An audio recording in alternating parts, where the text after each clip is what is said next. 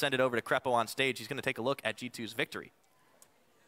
Hey guys, I'm here with uh, Luka Perkovic. A little bit of a close game, closer than you expected, maybe? Uh, yeah, definitely closer than I expected. um, gonna take it back to uh, picks and bans first. You're playing the Lissandra Zilean matchup. Last week, uh, we saw Ryu get solo killed in that matchup. Uh, how do you think it plays out? Is it really hard to play? Like, is there pressure to be put for you on the Lissandra side, or is it just so hard uh, against the wave clear?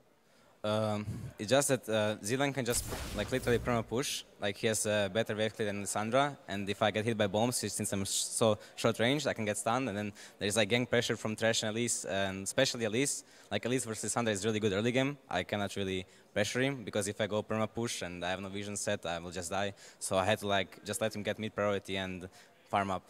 And then after. Sorry. No problem. then after I just go silent and I have more pressure than Zilean because Sandra silent is really good. Yeah, so this was one of the first few games where we see uh, you as in the mid lane not actually having that much pressure or kills. It kind of felt like it slowed down the game a lot for you guys. Uh, do you feel when you don't have the winning matchup, G2 struggles a little bit in the mid game? Um, I wouldn't say it's like that because I think we can play without the mid pressure. It just I don't know the game was just so slow. I don't even know what happened honestly. It was just really slow and really hard for us to engage with them because of Thresh Lantern, Zilean ult, clans and stuff like that.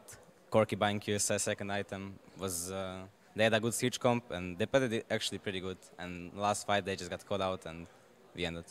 Yeah, after a very slow mid game, you guys tried to force a couple of plays, to dive in the mid lane, the teleport top. That kind of backfired just a little bit. I see you smiling, so you must agree.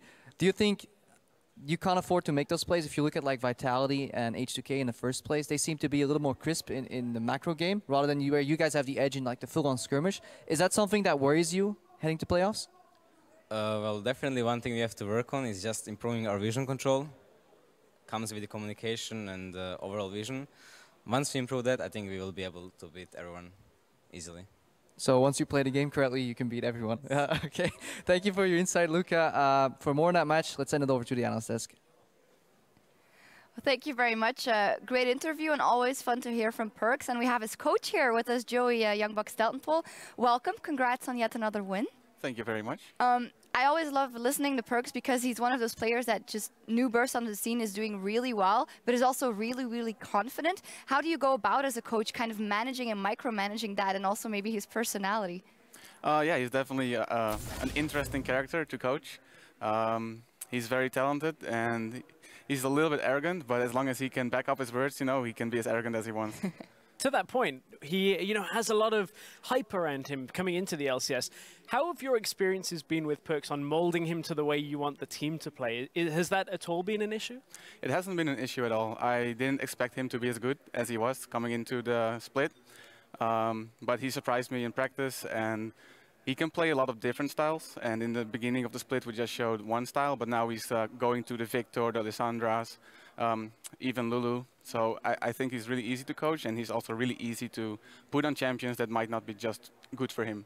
Yeah, I love that you bring that up. Obviously, it's not just Perks, it's all the other members of well that have been showing strong play. But as you bring it up, he's transitioning to other styles as a team. Did you think that was a necessity? Because we have seen some issues with that go hard or go home style of G2 in the last couple of weeks.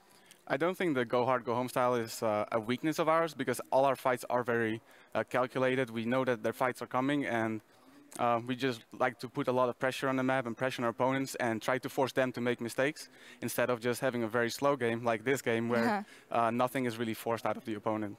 One thing, looking at Coaches Week as a whole, we've looked at is players that, or coaches that were players formerly.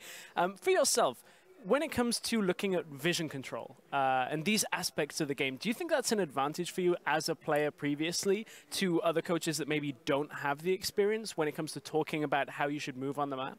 I definitely think it's a pretty big advantage that I've been a pro player myself. Um, and I think that teams that aren't really high in the ranking benefit a lot from having a, pro, a former pro player. Um, and I think the better teams have more benefits from a life coach. So when I got into this team, I thought I was going to teach them a lot because they're a very new team, and they actually really surprised me.